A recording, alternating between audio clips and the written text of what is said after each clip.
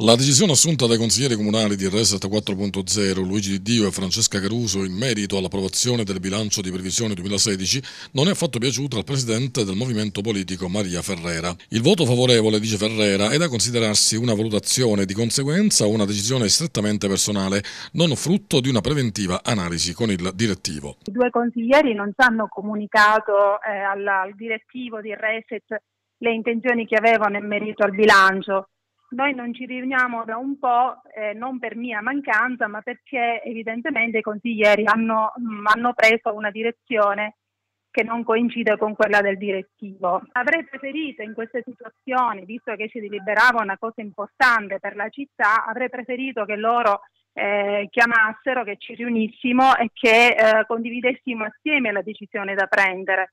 Non dico che il bilancio non doveva essere votato favorevolmente e neanche sfavorevolmente, ma quantomeno quando si condividono delle scelte eh, si discute e si va in, nella direzione univoca. Per Maria Ferrera si tratta di un'occasione mancata perché poteva essere motivo di dibattito e di confronto al fine di inserire punti programmatici presenti in Reset 4.0.